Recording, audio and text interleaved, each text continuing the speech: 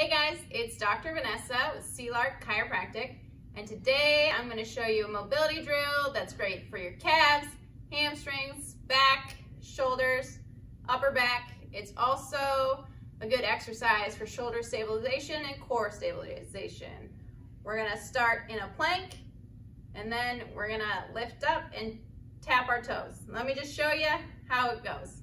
Um, if you find this useful, give me a comment, a like, a share, and we're gonna start in a high plank position. So you're here, wrists under shoulders, push up, straight line. You're here. You want your core engaged, and then you're just gonna lift your hips straight up. Your hips go up. So you're kind of in a downward dog position. Your upper back is straight, your legs are straight. You're here.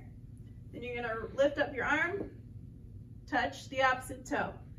You bring it back, here, lift your hips, touch the toe.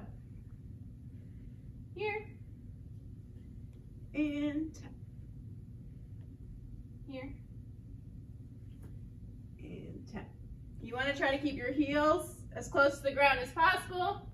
That's really gonna help with your calves. It'll stretch right through there.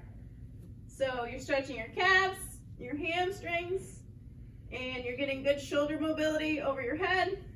Here, touch. Back to a plank. Here, and touch. All right, give that a try. You can do 10 on each side. And of course, if there's pain, stop. And if you found this useful, give me a comment, a like, a share, and have a great day.